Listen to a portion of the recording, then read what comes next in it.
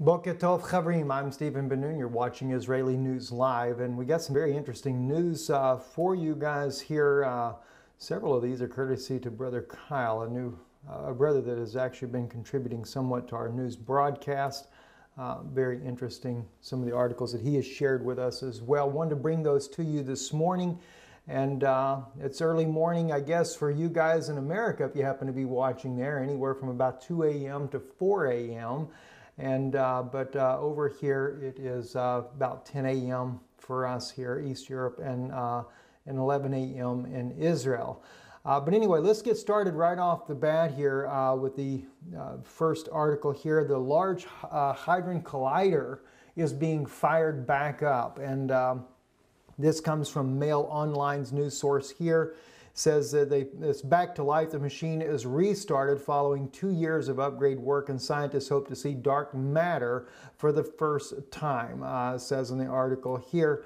And uh, they state here that um, uh, the large uh, it's been turned off for two years during a major renovation project that, that cost over a hundred million pounds. Uh, that's British money, which is a little bit more valuable than the US dollar. And uh, so over a hundred million dollars, probably about a hundred and a quarter of a million dollars, just to give you a rough idea there. The world's largest atom smashing machine is most famous for providing the existence for the uh, uh Higgs boson, but scientists hope it will now unlock even more fundamental secrets of the universe. Uh, physicists at CERN, the Geneva-based organiz uh, organization which runs the LHC, are aiming to see dark matter for the first time ever, uh, uh, time ever thanks to the device's upgrades. Now, they say that according to the upgrades that they have done, it will be able to go twice as fast, by the way, twice as fast. You can catch this article in Israeli News Live on our Facebook page there where we've loaded that article as well.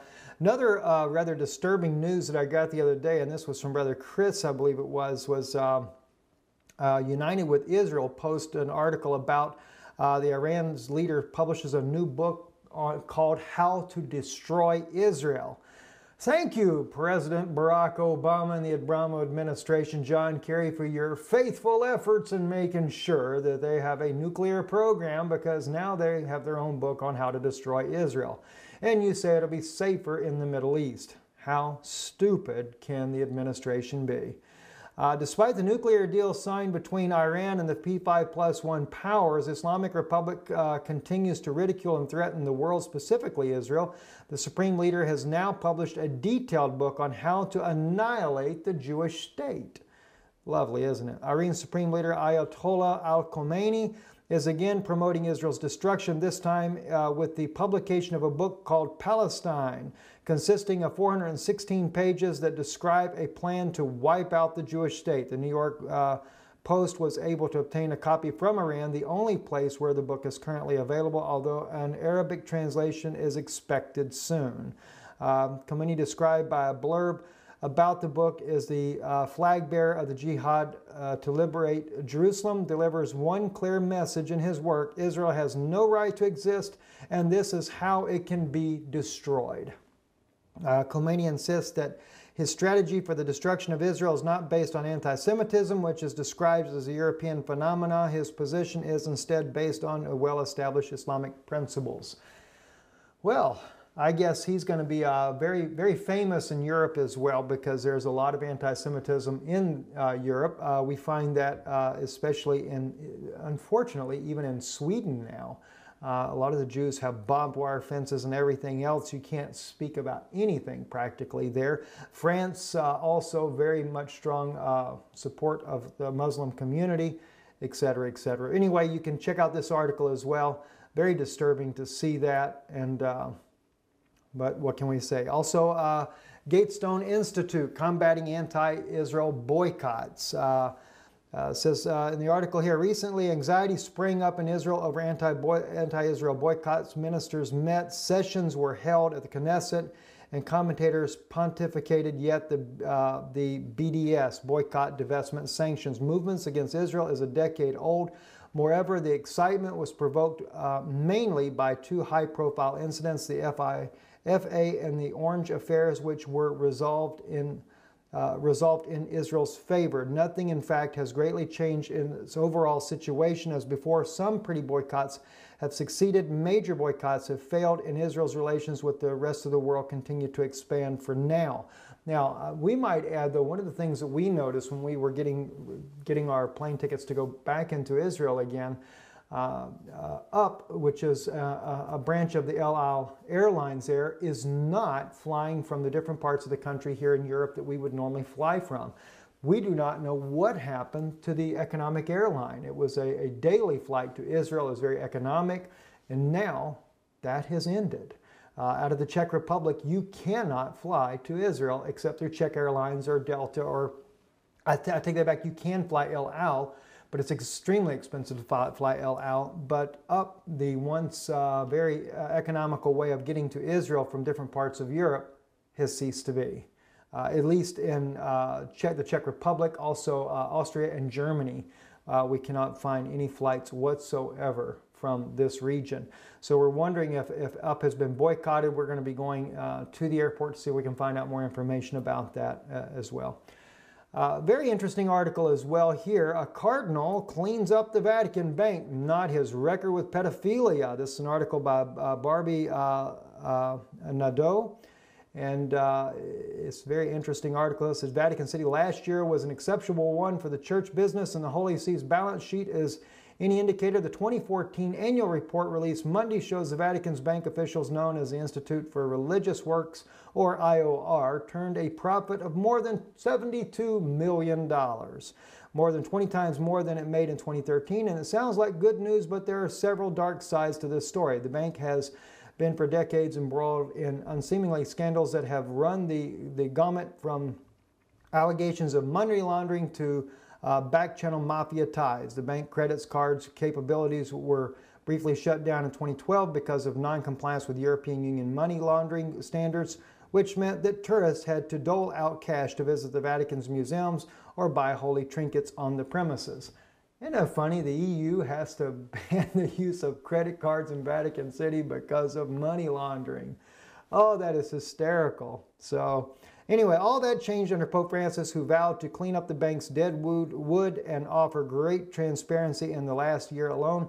4,614 accounts were closed either because they had been dormant for years or because the account holders didn't meet the new standards set by the IOR's crack team of reformers. An another 2,000 accounts face closure this year. Um, so if you want to get you a bank at the Roman Vatican Bank there, it get you a, good way started probably on the mark of the beast there. All you have to have is, you don't even need the number, all you need is a name. Uh, a lot of the profits made in 2013 went to external auditors who set temporary shop in the bank's medieval tower headquarters inside the fortified walls of the Vatican City, combed through the murky bookwork based on the 2014 final report. It was money well spent. The main focus is on the fundamentally improving of overall client service standards and further personalizing your assets. Management Services, IOR Chief uh, Jean Baptiste de Franssu said in a statement there. Uh, anyway, you can catch the rest of that article there as well. Another interesting article here, for what it may be worth, um, uh, is that NASA has been forced to address the, the, the, the major uh, news that had broke through uh, uh, Lynn Liaz, and uh, Lynn had promoted this big about an asteroid going to strike the Earth.